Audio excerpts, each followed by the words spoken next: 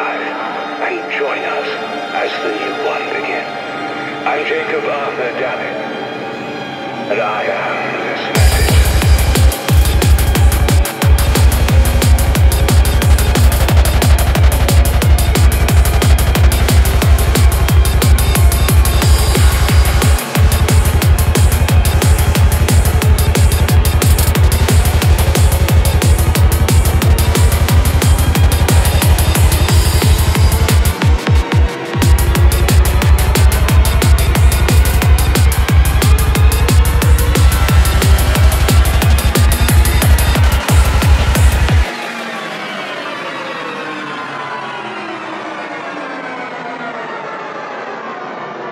you